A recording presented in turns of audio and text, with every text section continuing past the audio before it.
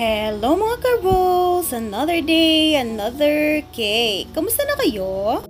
For today's video, gagawa tayo ng cake na mukhang regalo. Amazing! Order ito ng ating Suki na event organizer para sa anniversary ng Makimura Ramen House na restaurant. Hindi lang ako sure kung saang branch ito dito sa Pampanga, pero nakakatuwa na tayo ang napili na gagawa ng cake para sa anniversary nila. At dahil dyan, feel natin na mag-ayos at mag-film na kasama ang ating pagmumukha for today's video. Kaya pagtsagaan nyo na, madalang lang yan. Ang flavor pala ng cake na ito is moist chocolate cake and ang size niya is 8x4 na merong kasamang 12 pieces na cupcakes. Isa ito sa mga bestseller din natin na size kasi affordable lang siya and at the same time malaki na yung cake, marami nang makakakain. Yung inspiration pala na sinend sa atin is para siyang gift box themed na cake. Pero iba yung color niya. Color blue kasi yung sinend sa atin na inspiration. And pinapalit lang yung color na kakulay daw dapat ng logo ng Makimura which is red and black. And yung inspiration din, fondant kasi siya, full fondant siya, na color white yung base. Pero ang request sa atin is soft icing na lang. So, semi-fondant ang ating cake for today. And dahil color white ang base ng cake natin, medyo challenging talaga siya kasi kailangan na super makinis siya para naman maganda siyang tingnan, lalo na't lalagyan siya ng mga fondant details. At dahil may kalakihan ng cake natin, naglagay tayo ng straw sa gitna and meron din kasi tayong ilalagay na medyo mabigat na topper sa taas so mas maganda na meron tayong support.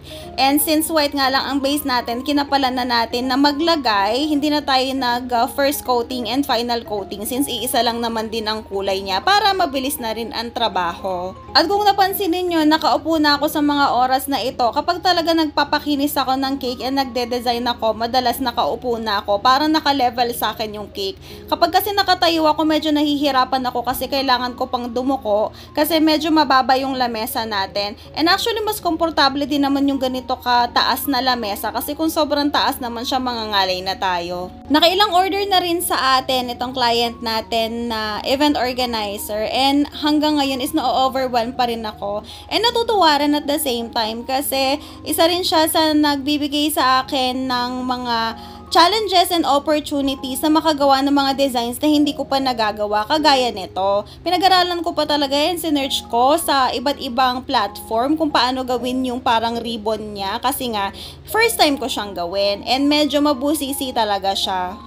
Ang challenge kasi dito sa ribbon na ito is since ribbon nga siya may parang pa bilog-bilog siya na part, hindi natin pwedeng super tigasan yung fondant like dagdagan ng maraming tylos kasi kapag ginawa natin yon magka-crack siya. Kapag naman kulang siya sa tylos, babagsak siya, hindi natin ma-achieve yung bilog-bilog niya. Mamaya makikita ninyo siya. And ito, nilalagay na nga natin yung mga bilog-bilog na yan sa uh, side ng cake natin. Ganyan na ganyan kasi yung sa inspiration.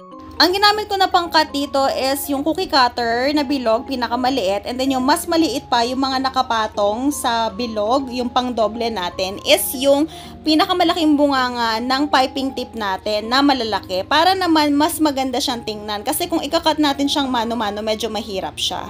At kung napansin niyo naglagay ako ng dalawang barbecue stick muna bago ko nilagay itong ribbon para support na rin doon sa ribbon natin kasi medyo mabigat siya.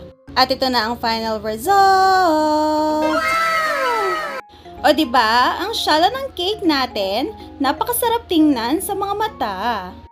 And that's it for today. See you on our next video. Bye!